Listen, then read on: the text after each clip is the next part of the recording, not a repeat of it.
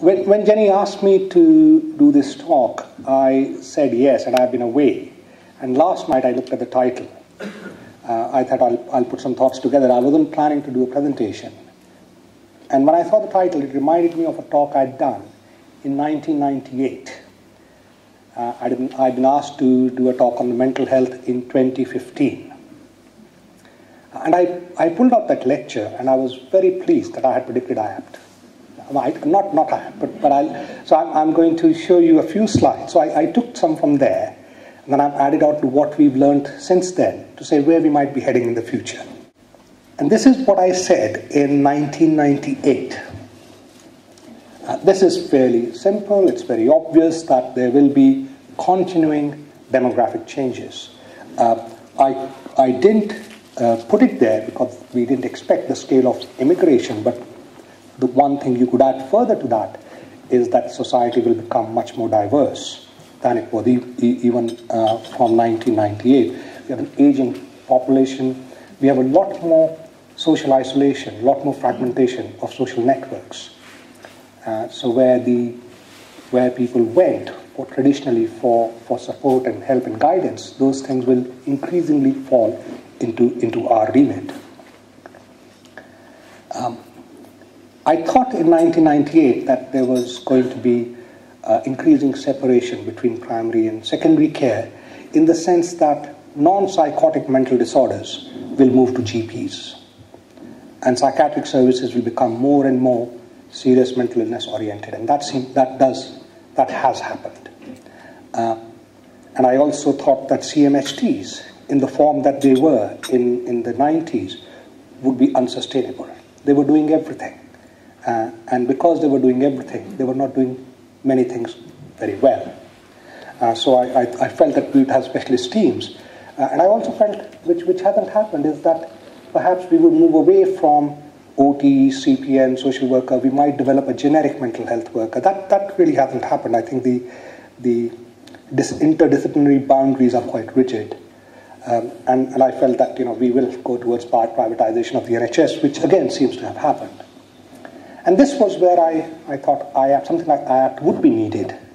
Uh, it was, you know, we have become increasingly psychologized as a society. We clearly understand the know, psychological roots of our distress. We are no longer willing to accept it as, as divine punishment of our past life. Uh, and so in our, in our popular culture, you, know, you, have, you have people, uh, protagonists always has a troubled life in the past. We are increasingly aware of the roots of our distress. And I felt that at that time I was running a CMHT. It was very obvious to me that there were a number of people referred by GPs who were too complex for the GP, but not complex enough for us. And they were falling through the gap. And it was very obvious what they needed was not secondary mental health care, but not primary mental health care, something in between. And that, I think, IAPT is there to fill that, that, that gap. So, since then, what, what has happened is the very important thing that has happened is that we now have solid, robust evidence for the efficacy of certain psychotherapies, CBT being a good example. We have randomized controlled trials of CBTs, and, and CBT therapists can stand up and say, We have firm evidence, firm scientific evidence. It works. Uh, as a result of which, psychotherapies like CBT are now part of the NICE recommendations. We are expected to deliver them uh, a health service. In the academic arena, we have now started understanding the difference between a mechanism and a meaning. When I was training, you know, we used to tell patients, oh, you've got psychosis, or your family member has psychosis. It's a chemical imbalance in the brain. It's right, but it's not the entire answer. The chemical imbalance is the mechanism of symptom production. So I could give any one of you drugs that treat uh, Parkinsonism. Dopamine in your brain will increase, and one of the side effects is you might start hearing voices.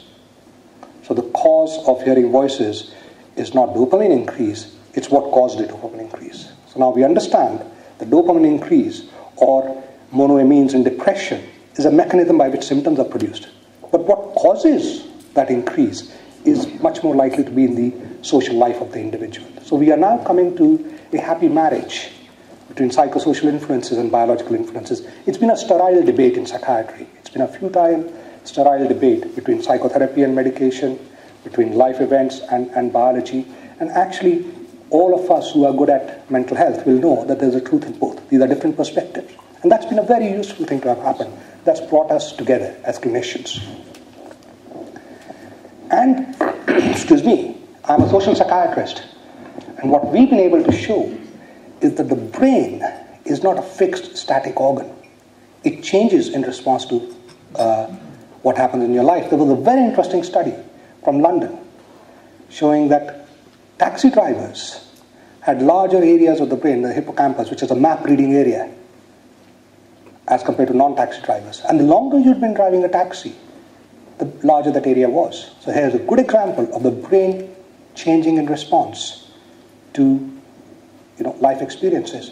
Another very interesting study shows that successful treatment with an antidepressant or with psychotherapy produces the same brain changes. So, so psychotherapy produces the same, successful psychotherapy does the same thing to the brain that successful antidepressant treatment. So you can say, well, hang on, there is firm evidence that successful psychotherapy does the same thing. And, and so now what, what we can say is that there are places where medication is necessary, there are places where psychotherapy will do as well, and there are places where you need both. And again, I think that that merging of different disciplines has been very good for, for, for us and our clinicians. So, so my important lesson that I've learned from social psychiatry is that if you can change your mind, you can change your brain. We always felt you could, it was the other way around. And finally, the big advance in our knowledge has been gene environment interactions. So, again, people used to think there are genes which make you ill, or there are environments that make you ill. And now we know that you have genes which are triggered on and off depending on which environment you're in. Uh, and we know that in certain conditions, cannabis is a very good example. I don't know how many of you know, but cannabis and psychosis is related through a particular gene called COMT. If you have one variant of the gene, you have very high risk of developing psychosis if you take cannabis. If you have another variant, you don't have high risk. So when people argue about whether cannabis causes psychosis or not, they forget that there is an intermediate, which is the gene.